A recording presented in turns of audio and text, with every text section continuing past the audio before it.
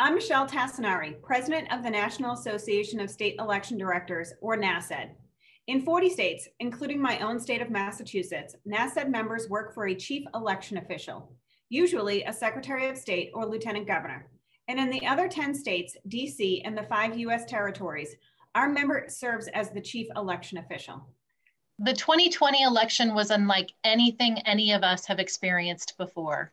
Presidential elections are always difficult, but the added challenge of a global pandemic and civil unrest truly means that last year will always be one for the history books.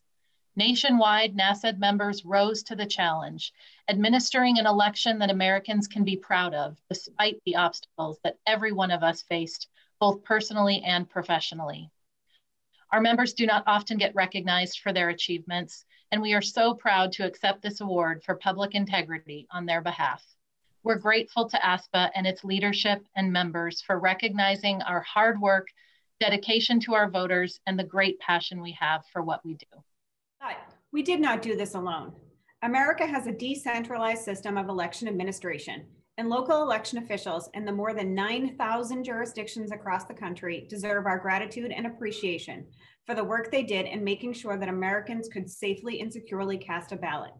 The hundreds of thousands of temporary election workers who stepped up to make sure that voting locations opened on time and that voters could feel safe, among so many other things, also deserve a tremendous amount of credit. All of these people literally put their lives on the line to make sure the November 3rd general election was a success. We could not have done this without them. We also want to acknowledge the contributions of our colleagues at the federal level, and especially our co-awardees at the Cybersecurity and Infrastructure Security Agency. We appreciate your continued support and value your partnership as we learn from 2020 and prepare for elections in 2021 and beyond. We're honored to share this award with you, but we still do not support pineapple on pizza.